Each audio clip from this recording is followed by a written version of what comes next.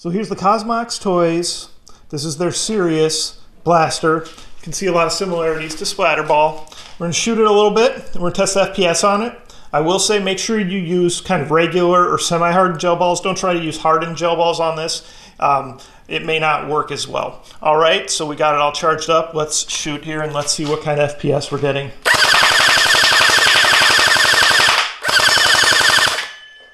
I like the rate of fire. I like how it shoots. Let's see where we're at for FPS.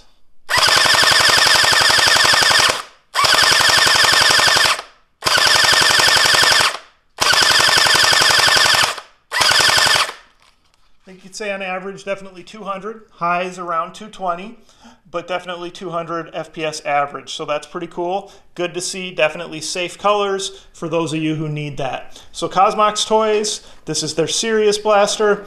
Should be available sometime in February on their website and on Amazon. Comments, questions, post them below. Let me know what you guys think about it. Of course, like, subscribe, share my channel with your friends, and participate in those monthly giveaways. Thanks.